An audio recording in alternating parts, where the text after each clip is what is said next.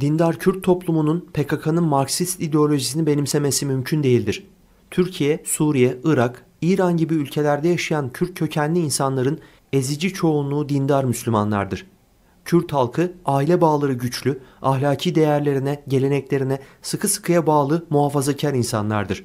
PKK ise tam aksine aileyi, dini, ahlakı ve her türlü manevi değeri reddeden Marksist dünya görüşüne sahip bir terör örgütüdür.